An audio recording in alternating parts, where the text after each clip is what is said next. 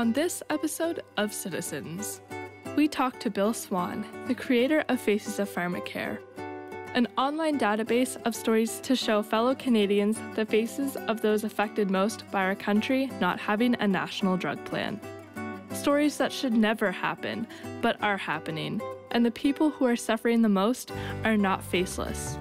They're our family, our friends, and ourselves.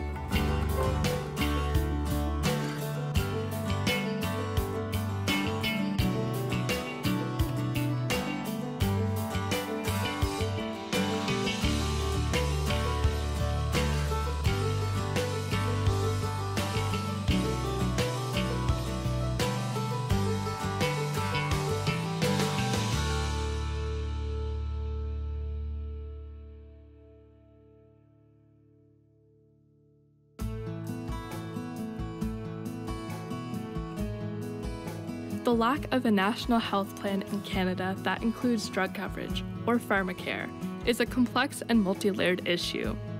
To first get a better understanding of pharmacare, what it was, and what it can mean for Canada, I went to the Canadian Association for Health Services and Policy Research Conference in Halifax, Nova Scotia, to meet up with the renowned Canadian health economist, Dr. Steve Morgan.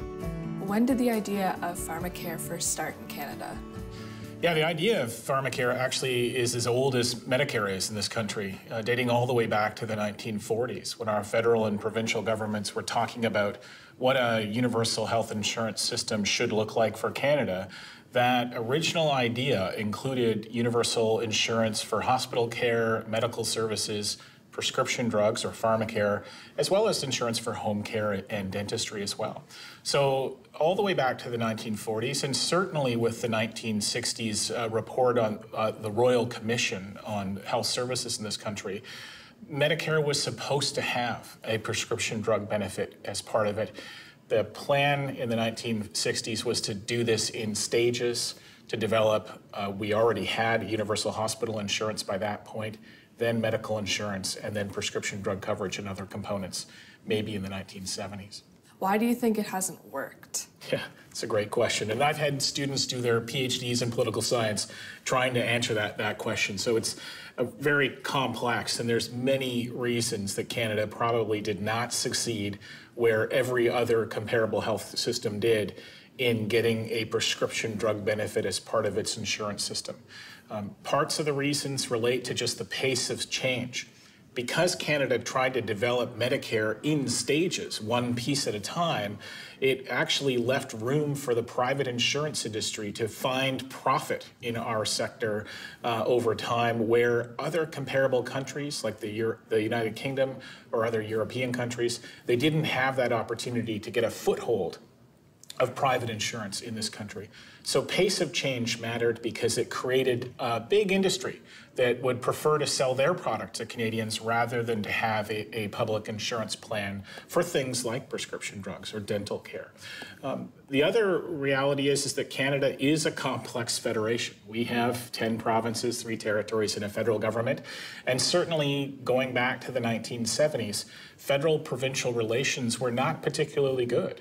And for various reasons related to federal provincial politics, the federal government wasn't ready to take the next stage of Medicare, which would have been pharmacare in the 1970s. And unfortunately, with each decade that passed, the arguments for pharmacare became stronger, but some of the opposition to pharmacare got stronger as well. And that opposition came or comes from insurance companies that want to sell their insurance, but also drug companies that want to charge higher prices in Canada than they charge in other countries that have a universal pharmacare system. So, what do you think pharmacare looks like in Nova Scotia? Well, Nova Scotia pharmacare is similar to what you might find in other provinces. The problem is that these drug plans, including the one in Nova Scotia, are the equivalent of a patchwork where certain people are provided reasonably good coverage, but many, many people are left to the private market. And access to the insurance in the private market is more or less a privilege rather than a right. And that creates problems.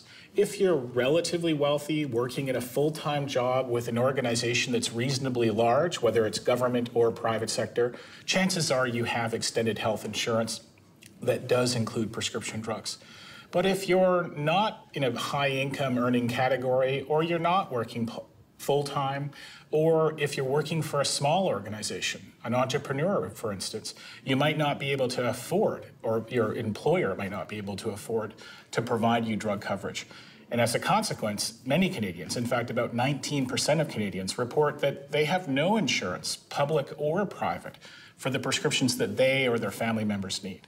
Every high income country that has a universal health care system includes universal coverage of prescription drugs, and they do so within the health system that finances all medically necessary care. Mm-hmm. So, all of these other countries did pharmacare with Medicare and hospital care and, and other services. So, and they all did this a generation ago. They all did this either just before the Second World War or just after. Right. So, we're talking about a situation where virtually every comparable country already does this. And as a consequence of doing that, as a consequence of having a universal public system for covering prescription drugs, mm-hmm. everybody's covered.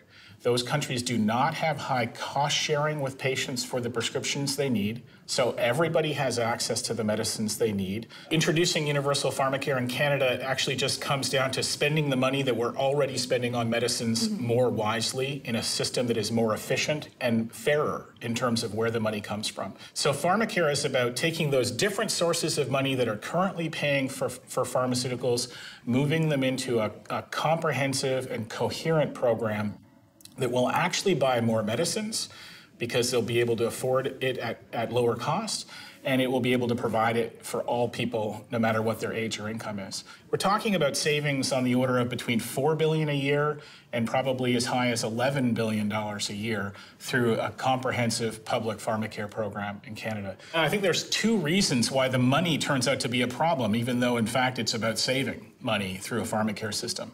One is an old adage in healthcare policy that is, every dollar of expenditure in a healthcare system is a dollar of somebody's income. Mm-hmm. So when we say there's very good reason to believe that Canada would save billions of dollars every year through a universal pharmacare system, it means the people who are selling medicines at the prices in Canada that they could not sell them in other countries are thinking, wait a second, we could lose billions of dollars in profits every year that we're getting because we're selling our products at a higher price in Canada than abroad. The second reason that there is some opposition to pharmacare is a general distrust of government.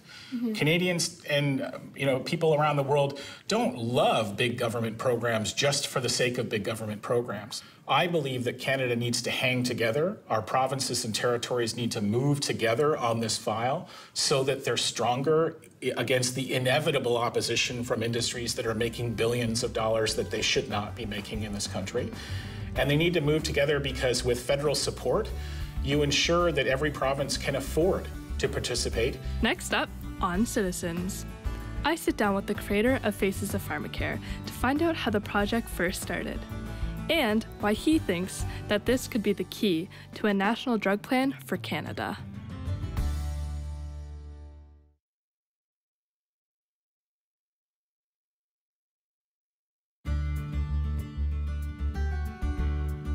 Bill started Faces of Pharmacare as a way to bring awareness to the issue of drug costs and privatized health plans in Canada. I was interested to know what had motivated him to start the project in the first place. Faces of Pharmacare, uh, I think, has been in the works for a very long time. Um, when when I came out of university in '87, uh, I thought I'd be a big boy and go down and get drug coverage. Uh, I went to the, the, the, Blue Cross office here in Halifax and I said, you know, I'm, I'm now a full fledged member of society. I would like to buy some drug insurance, please. And they said, Well, do you have any pre existing conditions? I thought it was a reasonable question. Said, Yes. They said, We can't cover you. And honestly, I went home and I thought about it. I, I, I just, it was, I said, This, this is crazy. And I went from being a, a, a very stable, severe asthmatic to suddenly stopping my meds. I couldn't afford them. And so I, I was in the ER by the end of that summer three or four times. And by the fourth time, uh, I'd had enough. Mm-hmm. I'd actually had a, um, a, press conference with the leader of the NDP at the time to talk to the government, and was was completely incensed that they said, "Well, yeah, come on down. We'll talk to you. We'll take care of you." When my argument was that this saves money overall. If I'm not in the hospital, I'm not using ER, the drugs are cheaper. What are you talking about? Um, so I ended up I, with a thesis topic, went back to school where I did have drug coverage.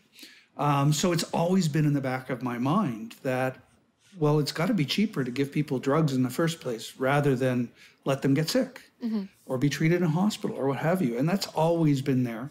How have your experiences been as someone who deals with chronic illness on a daily basis? Well, it's it's so much part of my life that uh, it's actually something I have to think about.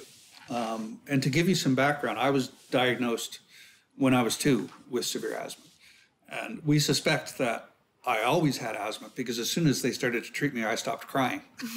but this basically, I was one of two people in Nova Scotia. It was a toss up between me and a guy named Dennis Mitchell, who was the worst asthmatic in the province. Um, so I spent until I was 10, probably I was in the hospital once a month. The problem is, of course, is that if you look in my lungs, they look great because I've never smoked. You know, they're good looking lungs, but you can't see what's happening by just looking at lungs. You have to go very deep to understand. So it, it's for me, I'm a very different patient, I think. Mm-hmm. I take it really personally that I have to understand what's going on, that I need to take care of myself. I see that it's my responsibility to do the best with what I have. And where I get frustrated is I think society has kind of fallen down by, well, yeah, you go take care of your drugs too. Because there's treatments that I won't even bother looking at now. If, if you're talking $35,000, $40,000 a year, I, I can't afford that, even at 20%. Other way, I think it's shaped who I am. Because, uh, you know, when when the government way back in 87 said, come on over, we'll take care of you.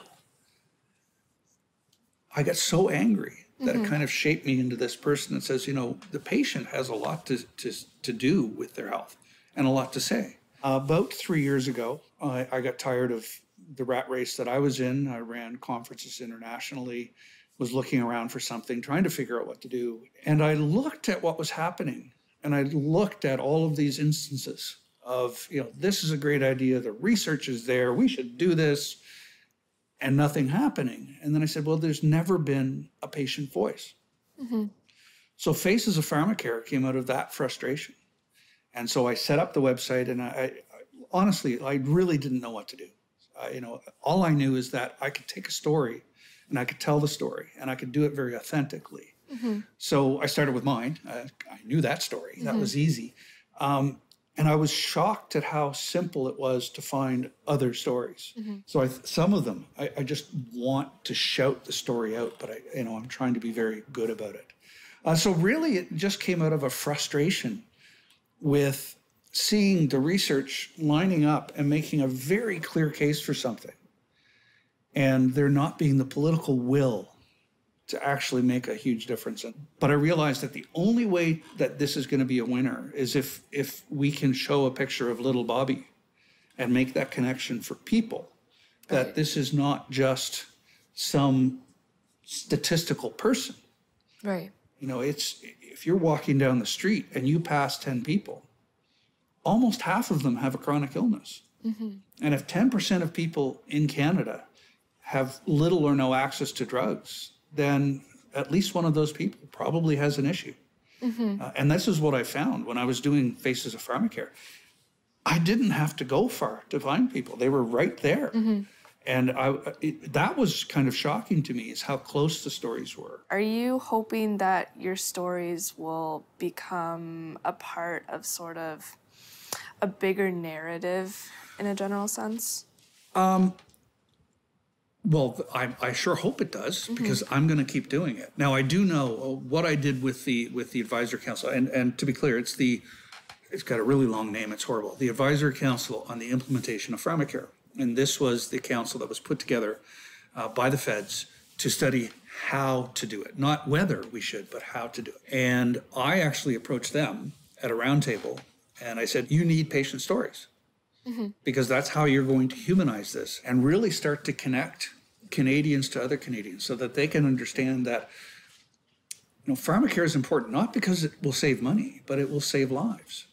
Uh, and Steve, I remember Steve talking uh, on one email, I asked him, I said, well, is there any research on how many people have died? You know, how's, what's the mortality impact? And he said, we have been trying to figure that one out for ages. So I, I looked at some research from the States that said there was a 5% mortality savings when they brought in uh, Medicare Part D, which is drugs in the States for the elderly. And I said, well, if, if we had that, what would that mean in Canada? Well, I did the, the math and I figured out that over the last 50 years, we've killed Kitchener by not having access to meds. And then the Nurses Association followed, or the Nurses Federation followed up with a report that was had the similar sort of you know when when we don't provide meds for diabetics, we kill them. So it's important for people to understand that this is not some sort of esoteric thing. We are physically killing people by not giving them access to the meds that will allow them to not die, to lead a normal life. Next up on Citizens, Bill shares some of the stories of the Canadians who are struggling with chronic illness, and we learn some disturbing truths about our current healthcare system.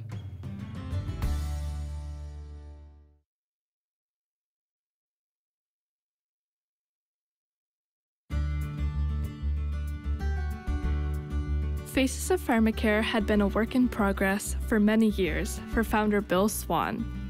I was interested to know why he thought these stories can make a difference for Canada.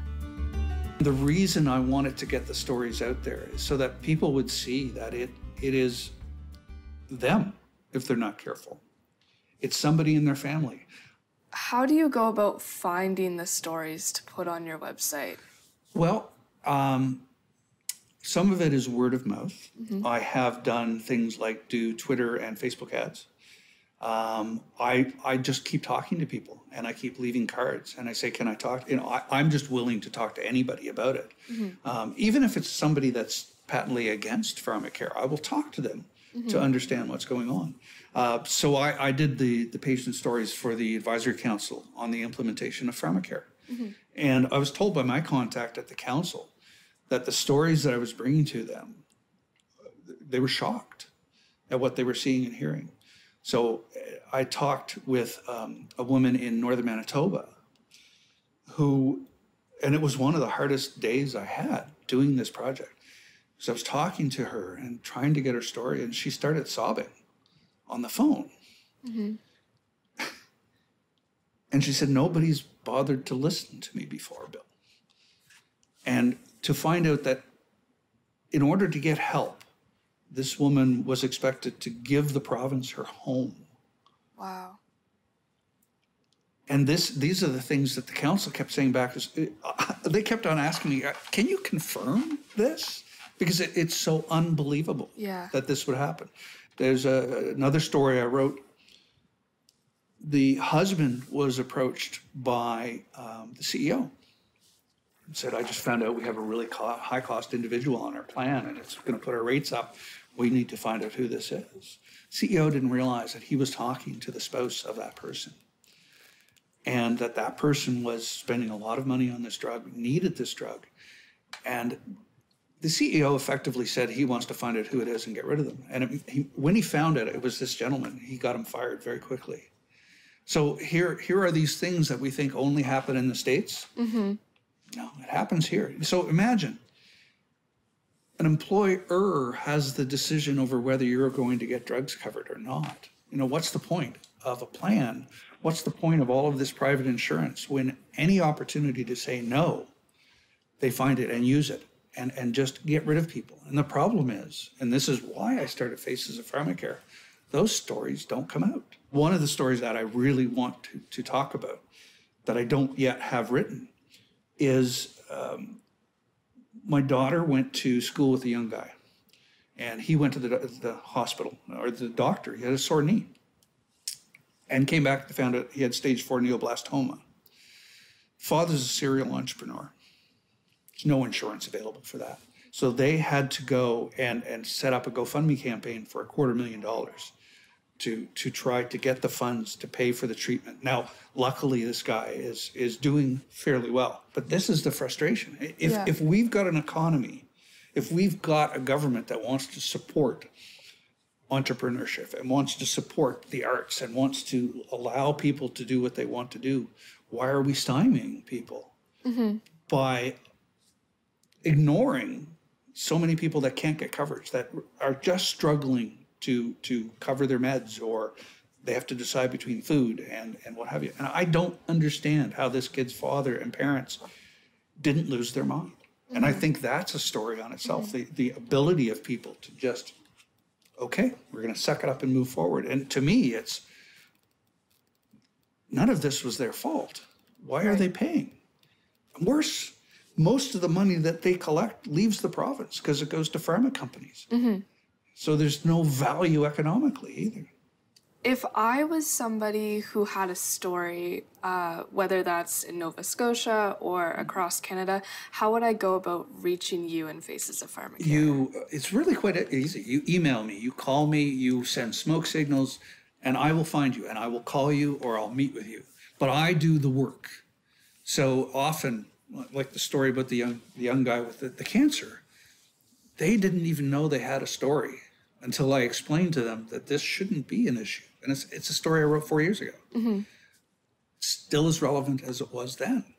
Um, so my, my hope is that people will start to understand that by by looking at these people, it's like the homeless. You know, you you if you look at them, you humanize them. And I want people to look at people that are dealing with the side effects of, a, of some bad decisions in our healthcare system and have to deal with it personally, where it, really makes absolutely no sense. And I just hope that what Faces of Pharmacare will do will be to keep the stories of the people really affected at the forefront. I'd love to see the research kind of be, oh yeah, and theirs. I'd really love people to say, yeah, I, I, I can completely relate to this person. I can understand that that could be me tomorrow. Yeah. That's where I'd like it to go. I actually know somebody that has a personal story, my mom, whose name is Sharon. I was wondering if you'd be willing to sit down and, and talk to her and kind of show her the process of how she can use Faces of Pharmacare to talk to politicians, MLAs, um, MPs to sort of get her story out there to the public. Absolutely. I, I will talk to anybody about this issue at length, un, unceasingly. Uh, but what I think is really cool about this is exactly something that I mentioned before that how, how close these stories really are. Here we are recording, and the person involved is saying, Oh, look, there's a story. I just, it's right there Yeah. this is how close this, the stories are and and this is what i want to sort of broach is to say i want you to understand how close this is this is right around the corner this is the next time you take a step the next breath you take this is going to happen to you and and what i think is interesting and i'm kind of excited about talking to your mom because once people realize what their story is they realize they really have something to say about this Thanks so much, Bill, for sitting down and talking with me and sort of showing me the ropes of how it is with Faces of Pharmacare. I really appreciate it. Oh, I'm happy to do it anytime. Living with a chronic illness will change you. If you've never been sick for an extended period of time, you can't imagine what it looks like, let alone what it can cost.